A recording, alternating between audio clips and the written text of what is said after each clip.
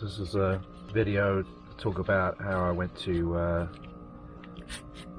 uh, park recently and just all the crap you kind of pull out when you go metal detecting, right?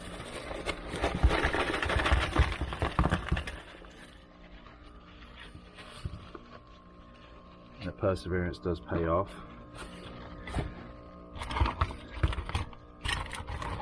Two fence post ends, pipe, shotgun shell, and a weird metal, aluminium, aluminium,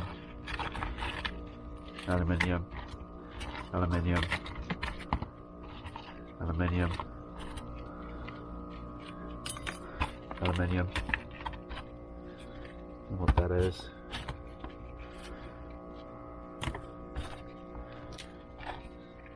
Bunch of uh, nails, ring pull. Nail, nail.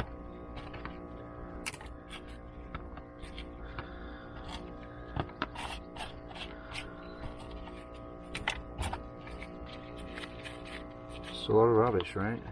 A lot of trash. So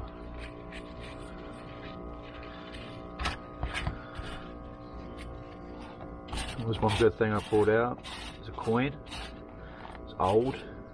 It's almost toasted, so I washed it with uh, some hot water and uh, soaked it in some uh, soaked it in some uh, olive oil and uh, looks like it could be King George the First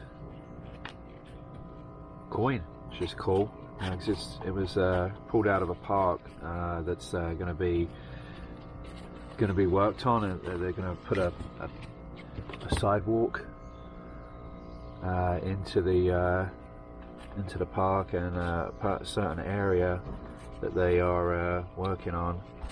Uh, I wanted to see what, whether there's anything there before they put concrete all over it, and I'm glad I did because you know they had an old coin there, so I managed to save that.